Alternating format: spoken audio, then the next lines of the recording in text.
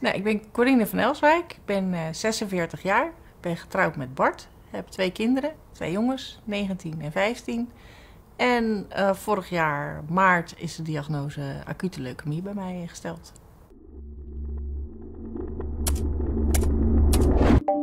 Mijn collega die had net een griep gehad, dus ik voelde me ook niet lekker. Ik uh, kreeg koorts en nou ja, weet je hoe griep een beetje gaat. Je krijgt keelpijn, krijgt ja, van alles. En op een gegeven moment kon ik echt niet meer lopen. Want met douchen wilde ik wachten totdat Bart thuis was. Want die moest me dan helpen. Die moest me uit bad tillen. Die moest me afdrogen. Ik kon niks binnenhouden. Mijn benen voelden heel raar. Die bewogen continu. En ik kon gewoon echt... Uh, ik heb twee weken lang echt niet geslapen. Gewoon geen minuut. En uh, nou ja, dat, dat werd eigenlijk alleen maar slechter en slechter. En toen kreeg ik ook een beetje blauwe plekjes. En uh, dan ga je het een beetje doorhebben van hier klopt iets niet. Maar de huisarts was het daar niet zo mee eens. Die zei griepje, griepje. Dus uh, ja, en ik voelde me alleen maar ellendig geworden. En Bart maakte zich alleen maar meer zorgen.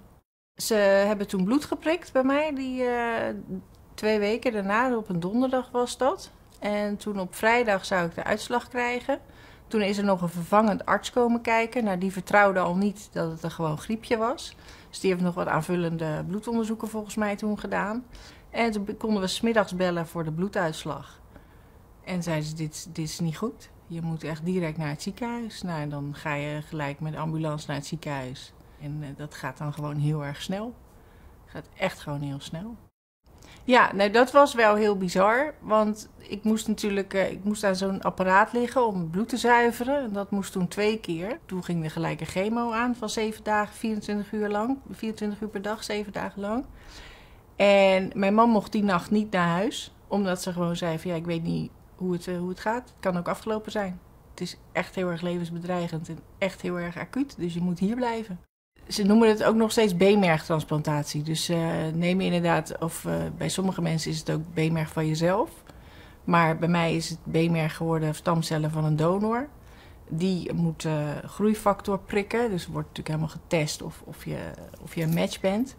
En dan wordt er bij, bij diegene wordt, bloed afgenomen. Daar worden alle stamcellen uit, uitgefilterd. En die worden bij mij weer, uh, weer toegediend. Dus heel mijn uh, beenmerg is platgelegd door de chemo. Dus dat, dat was helemaal niks meer.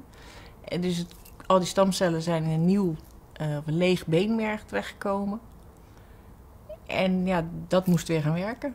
Dat moest mijn nieuwe immuunsysteem worden. En dat moest alle kankercellen verdrijven, alle leukemiecellen. Omdat je immuunsysteem zo, zo naar beneden gaat, of eigenlijk niet meer is, word je in een kamer met een sluis gelegd. Dus dan heb je eerst een deur, dan hebben mensen een, een tussenstuk, zeg maar, waar dus in dat jassen moeten, alles en, en nou ja, alles daar wordt achtergelaten. En dan komen ze pas jouw kamer binnen. Dus dat is met luchtdruk en alles uh, wordt dat. Uh, en de eerste in het uh, Erasmus, de centrumlocatie, daar hoorde ik nog geluiden ook van de gang. Of weet je dan kon je nog een karretje horen of je hoorde het bezoek al lachen of nou ja, wat dan ook. En in de Daniel en Hoed hoorde ik helemaal niks. Geen regen tegen de ramen, geen, geen mensen op de gang, niet praten. Dus pas als mensen echt mijn kamer binnenkwamen, dacht ik, oh, ik heb bezoek. En dat, nou, dat, uh, nee, dat kan, daar ben ik heel slecht in, heb ik gemerkt. Dat vind ik heel lastig. Geen geluiden, gewoon geen omgevingsgeluiden en helemaal niks. Want je mag er ook niet uit. Dus je ligt daar gewoon echt. Uh, ik heb wel eens met een arts over gesproken. En die zei ook, hij zegt, ja, wij doen jullie dit aan. Ik zeg, ja, weet je, een gevangene heeft het beter, want die wordt nog gelucht. En wij liggen hier en je mag gewoon nergens naartoe, gewoon weken achter elkaar. Dus dat, dat vond ik echt, ja, dat vond ik heel lastig. Dus toen ik thuis kwam, dacht ik zo, raam open, deur open, ik hoor vogeltjes, regen, oh heerlijk, ik hoor regen tegen het dak. ik kon er helemaal van genieten. Nou, ik heb het verteld tegen de kinderen toen de huisarts bij ons thuis kwam die, die uh, middag. En dat ik dus eigenlijk twee uur later al gelijk met de ambulance mee moest. Ja, toen heb ik het gelijk al tegen ze verteld. Van jongens, de reden dat ik zo ziek thuis lag steeds is dit. Nou ja, verdrietig natuurlijk en geschrokken. Maar ze waren ook al geschrokken van het feit hoe ik thuis lag. Want dat was echt geen mooi plaatje. Dus toen ik helemaal in het ziekenhuis lag en ze mij ook weer wat op zagen knappen, toen dachten zij van, nou ja, weet je, ze is hier in betere handen en het gaat nu eigenlijk al gelijk gelijk een stukje beter met haar. Dus die jongens die zijn er enorm goed mee omgegaan. Dat is echt niet te geloven. Maar die zijn er echt, uh, ja, nou ja, echt gewoon heel positief ook. En heel goed. En geen dag gemist van school of, of helemaal niks. Uh, dus heel goed. En, en Bart, mijn man, die heeft alles uh, enorm draaiende gehouden. Niet te geloven, maar dat is echt, ja. En we hadden veel hulp hoor. Ik bedoel, mensen, vriendinnen die, die die nog steeds aan het strijken zijn. En uh, mijn vader die deed heel veel. En dus mijn schoonvader en dus, mijn zus kwam helpen in huis. En, dus we hadden echt wel heel veel hulp. Dat wel. Maar ja, dat is even ja, moeilijk wanneer je die hulp vraagt, zeg maar.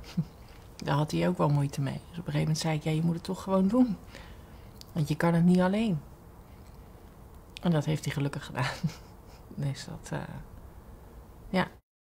Nu gaat het, nou ja, eigenlijk heel goed. Sowieso uh, lichamelijk gaat het, uh, gaat het echt wel heel goed.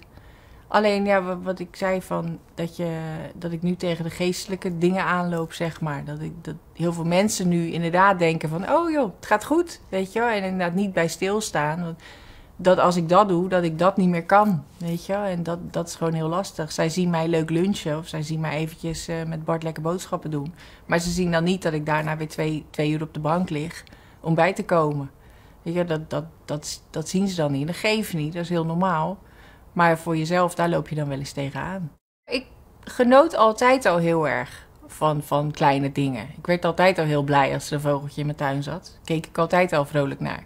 Alleen het punt is nu dat, je dat ik het tenminste heel erg ook soort van lichamelijk voel. Dat ik echt, eh, je, mijn man heeft een open dakje in de auto en dan voel ik de wind over mijn, over mijn hoofd en denk, oh ja. Dus dat, dat ik voel het gewoon echt meer. Ja. Ja.